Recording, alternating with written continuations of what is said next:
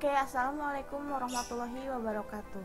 Selamat pagi ya dan Teteh Kali ini kita akan belajar sedikit penjelasan mengenai mengenal rumus dan operasi hitung pada Excel.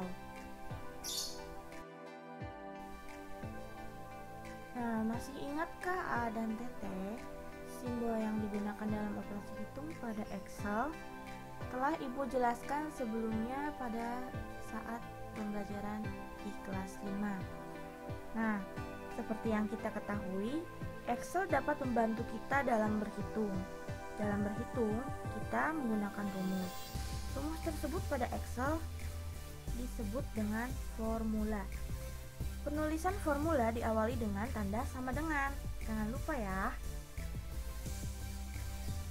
Berikut adalah simbol dan keterangan dari operasi hitung yang digunakan pada Excel.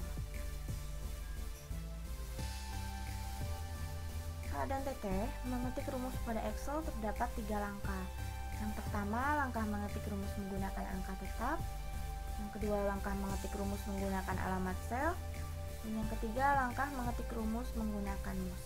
Mari kita simak penjelasan berikut ini.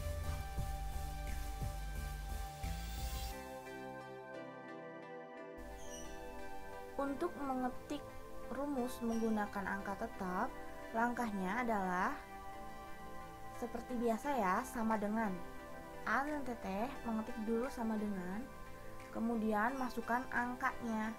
Di sini menggunakan angka tetap itu bisa diaplikasikan dalam kehidupan sehari-hari seperti layaknya sebuah kalkulator. Ya, A dan Teteh tidak memerlukan data yang dibuat terlebih dahulu di dalam Excelnya. Tapi ini seperti menggunakan kalkulator di mana kita memasukkan data yang hasilnya akan langsung muncul ya. Mengetik sama dengan lalu angkanya berapa yang mau dihitung. Kemudian jangan lupa operator hitungnya. Nah berbeda dengan langkah sebelumnya di sini, langkah mengetik rumus menggunakan alamat sel, A dan TT harus terlebih dahulu membuat data nilainya yang akan dihitung. Jadi pilih dulu sel yang akan diisi dengan angka yang akan dihitung. Seperti contoh A dan TT buat dulu nih tabelnya nilai matematika nilainya 80, nilai TK nilainya 90. Terserah A dan Teteh mau menyimpannya pada sel berapa. Di sini ketika A dan TT e, akan menggunakan alamat sel, di bawah total nilai A dan TT tinggal mengetik sama dengan, kemudian masukkan ya. Nilai 80 itu terletak pada sel berapa? Alamat selnya apa?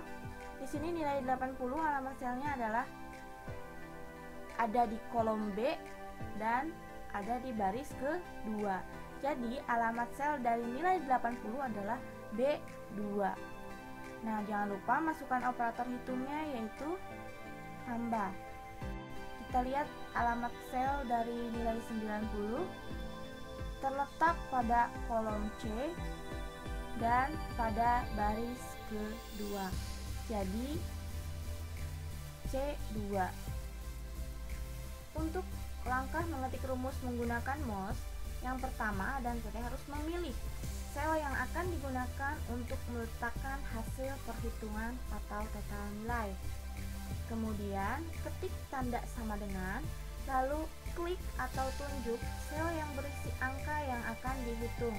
Di sini angka 80, diklik ya, kemudian muncul D2.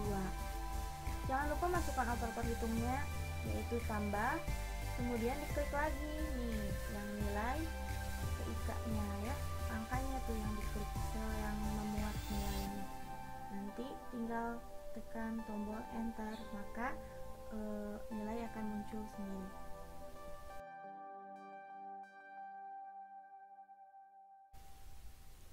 Selanjutnya e, ibu akan mengulang sedikit mengenai mengenal fungsi statistika pada Excel. Masih ingatkah apa saja rumus fungsi statistik pada Excel? Nah, berikut beberapa fungsi statistik yang sering digunakan.